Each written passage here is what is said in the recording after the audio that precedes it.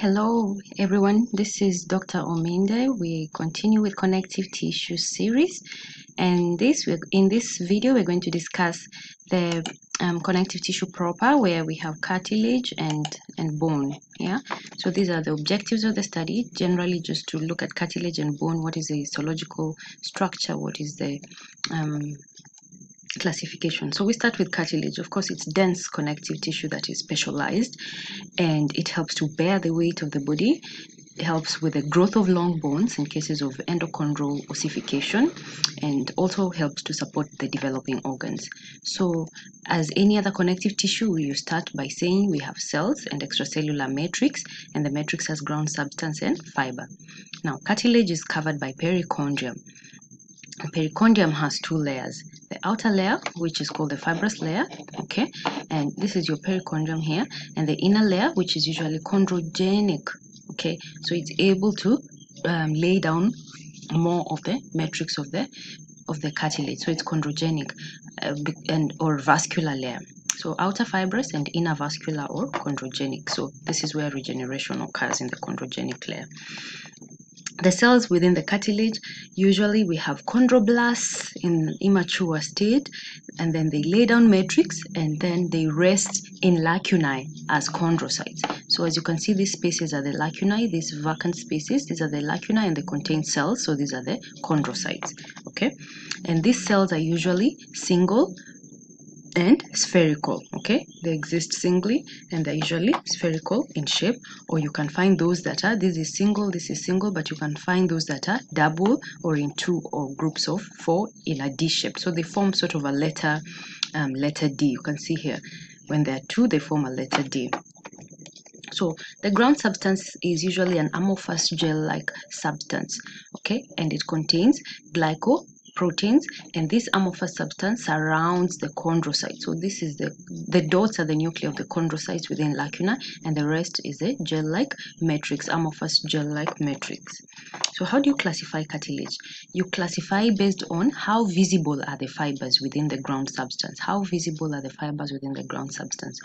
Hyaline and fibrocartilage contain abundant collagen fibers, while elastic cartilage mainly contains elastic fibers. So the collagen fibers in hyaline are invisible, while in fibrocartilage, the collagen form thick bundles. The elastic fibers in elastic cartilage exist as branching and anastomosing fibers. They branch and connect, branch and connect. So we start with hyaline cartilage. So hyaline cartilage you find cells. So you first describe the cells and the matrix. Then within the matrix, you have ground substance and uh, fiber. So the cells are in isogenous groups. That's how you must say it in an exam. Cells are in isogenous groups in hyaline cartilage, groups of two to six. And then when you get the cells of course are in lacunae in all the cartilages cells are in lacunae and in hyaline you find them in isogenous groups of 2 to 6 the matrix is homogeneous. It's clear. It's glassy. Those are the words you use. Homogeneous clear glassy matrix. Why does it appear clear? Because collagen fibers are invisible Okay, why can't we see the collagen fibers? Because the refractive index of the collagen fiber and that of the ground substance is equal. It's like clear water in a clear glass when it's full. It's not easy to tell the glass has water because the refractive index of the water and the glass is the same. So that's the same thing here. The matrix looks clear or homogeneous because the refractive index of the collagen is collagen type 2 in hyaline cartilage. The refractive index of the collagen and that of the ground substance is the same, so it looks clear. Hyaline cartilage has perichondria. Okay, so those are the features of hyaline cartilage. Where do we find hyaline cartilage? Costal cartilages of the ribs, articular cartilages in synovial joints, and cartilages of the larynx, specifically thyroid cricoid and arytenoid cartilages of the larynx. Thyroid cricoid and arytenoid. We go to elastic cartilage. Again, you start describing the cells. Cells are in lacunae, but in this case, they are not in groups. Okay. Where do we find elastic cartilage? In the pinna of the ear. You can pull your ear the pinna or the auricle okay in the epiglottis that prevents food from entering into the airway. Then you have the external auditory meatus the hole where sound waves enter the ear okay. You have the ala of the nose the upper part of your nose. It's stretchable so those are elastic fiber. And in a fresh straight elastic fiber usually appears yellow. And as we said you can still find elastic um, um, um, so we continue sorry. The elastic cartilage so cells are larger than what we saw in hyaline cells are most of the time single or in small groups not like hyaline where you have isogenous groups of two to six. Here most of the time they're single. And in the ground substance you can see branching and anastomosing collagen fibers. Does elastic fiber have perichondrium? Yes it does have perichondrium. So we see it in the pinna in the epiglottis and two cartilages of the larynx. These are corniculate and cuneiform. Remember, hyaline cartilage is found in thyroid, cricoid, and arytenoid cartilages of the larynx, while elastic cartilage is found in corniculate and cuneiform cartilages of the larynx. So this is elastic fiber. Cells single, uh, they're still in lacunae. Ground substance, uh, matrix, sorry, has um, fibers, elastic fiber that are branching and anastomosing, and then perichondrium is present in elastic fibers. We go to fibrocartilage, we said it has collagen, just like hyaline, but the collagen in hyaline is type 2 and the collagen in fibrocartilage is type 1. The cartilage in fibro, they're dense, uh, densely packed, but in hyaline, they're invisible. Okay, so where do we find fibrocartilage? Midline structures, intervertebral discs in between your vertebra, it's at the midline. Pubic symphysis in between right and left pubic bones. And then we also have within the joints, so intra-articular discs, for example, okay? So what are the features of fibrocartilage? We've said cells are in lacunae, like any other cartilage, but in this case, hyaline cells were in isogenous groups. Elastic cells were single, but in fibro, cells are arranged in parallel rows. You can see there's a row of cells here, a row of cells here. And then collagen fibers are thick bundles of collagen. All this is collagen, thick bundles of collagen fiber. Of note, fibrocartilage does not have perichondrium. We saw perichondrium in hyaline and elastic cartilages. So what are the features of fibrocartilage? Features of fibrocartilage, we have said um, chondrocytes in parallel, dense collagen, thick collagen fibers, and perichondrium absent. Okay. Cartilage usually do not have direct blood vessels that feed them, but they feed via diffusion from adjacent tissue. So they just pick up nutrients via diffusion, and you need vitamins for you to process the collagen well for your cartilage to be intact. So people who have deficiency in vitamin C, of course, the matrix will be affected. So their cartilage will not be good, and also vitamin D is necessary. So we go to bone. So bone is specialized dense connective tissue. Why do we say it's specialized? The matrix has both organic and inorganic matter. Organic are the things we talked about, glycoproteins, proteoglycans. We mentioned things like chondroitin sulfate, heparan sulfate, um, glycosaminoglycans. So those are organic part of matrix in connective tissue. But bone has inorganic where you have calcium, such as calcium hydroxide, calcium apatite, and that's what makes the bone hard. So it has both organic and inorganic. So we have compact bone, the outer part of bone, and spongy bone, the inner soft part where you have the marrow. So the outer part of bone, which is compact bone, is the microscopic organization has Haversian system. So this is, is what we are going to discuss. So this is a Haversian system. There's another one here. So these are all Haversian system. So the matrix of the bone, the inorganic component has calcium phosphate, calcium hydroxide, calcium hydroxyapatite. And of course, the matrix also has, remember we said, the matrix has um, ground substance, okay, and fiber. So bone has collagen type 3. So these are the um, Haversian system of compact bone. Remember, bone, compact bone on the outer part is covered by periosteum. Okay, on the inner part it's covered by endosteum.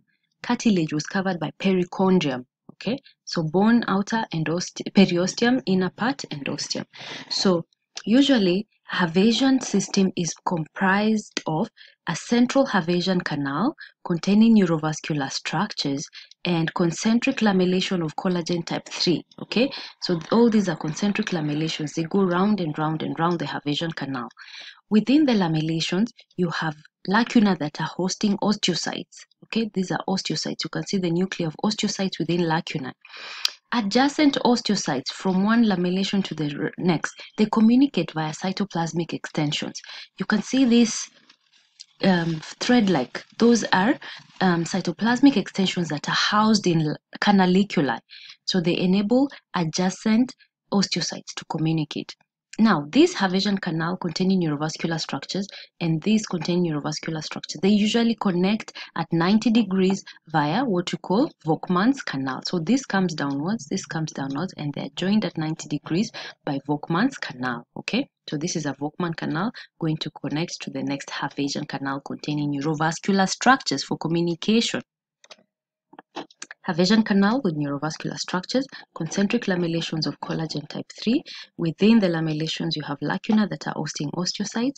Osteocytes send out cytoplasmic extensions housed in canaliculi to communicate with cytoplasmic extension of adjacent lacunae. Two adjacent Haversian canals communicate at 90 degrees via Volkmann's canal. So we have osteogenic cells, the cells in the bone. We start with osteoprogenitor cells. Those are the precursors, the stem cells.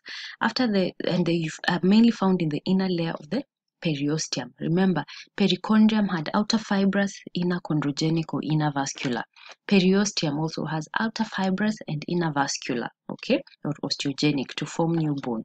So after osteoprogenitor cells, they mature up and become osteoblasts, and osteoblasts are the ones that form bone. They lay down uh, osteoid, okay? So they, which is the matrix. So they lay down the fiber and the matrix, the osteoblast. Then the osteoblasts, after they have laid down bone, they remain in an inactive state, resting state within lacunae. And this stage, they are now called osteocytes. And we've said they have cytoplasmic extensions housed in canaliculi to aid in communication between adjacent osteocytes. Another cell in bone, we've talked of osteoprogenitor, mature to become osteoblast. They lay down bone and rest in lacuna as osteocytes. The fourth type of cell in bone are the osteoclasts. Name five features of osteoclasts. They are giant or large cells, number one. These cells are multinucleated. They have 5 to 15 nuclei. Number two, they have a ruffled border because they have microvilli on the apical surface. So the apical surface is ruffled. They have microvilli. Then they are housed in Howship's lacunae. Their lacunae are called Howship's lacunae. And lastly, they are members of the monocytic phagocytic system. Members of the monocytic phagocytic system, so they play an immune role in the in the in the bone tissue. Again, their main function is to cause bone resorption, to break down bone. When your calcium level in blood is low, it will help to break down bone to release calcium into blood and also just to remodel and maintain the bone in general good state. So osteoclast, bone resorption. Okay, so Osteoclasts, giant multinucleated 5 to 15 nuclei housed in Howship's lacuna. They are members of the monocytic phagocytic system. Apical surfaces have microvilli, so they have ruffled borders, okay? And they carry out osteoclastic activity. They destroy bone, they break down bone, they cause bone resorption because of the proteolytic enzymes within their lysosomes. So these are the different types of cells in bone. This is an osteocyte in lacunae. These are osteoblasts, very young, immature bone cell. This is an osteoclast, large cell, multinucleated, ruffled border with microvilli, okay? And then this is an osteoprogenitor, a precursor cell, stem cell.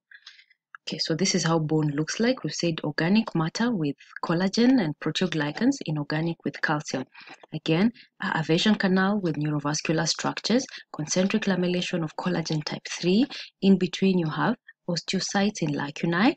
The osteocyte will have cytoplasmic processes housed in canaliculi to enable communication between adjacent osteocytes. One Haversian canal and the neighboring Haversian canal communicate at 90 degrees via Volkmann's canal. Then we have the outer part, we have the circumferential lamellae, okay? So you have compact bone, which is hard. We've talked about that, the outer part, and spongy bone, which is the inner. It's not hard and it contains the marrow space. This we have discussed. Bone has periosteum, outer fibrous and inner vascular osteogenic, and the periosteum is sharply bound onto bone by what you call Sharpey's fiber. Compact bone is characterized by presence of Haversian system. So you have Haversian canal with uh, neurovascular structures and concentric lamellation of collagen type 3 okay then these osteocytes are in lacunae with cytoplasmic processes that communicate and they're housed in canaliculi. The Haversian canals communicate with one another at 90 degrees via Volkmann's canal. And the outer bone outer surface bone is covered by periosteum inner surface is covered by endosteum okay? Thank you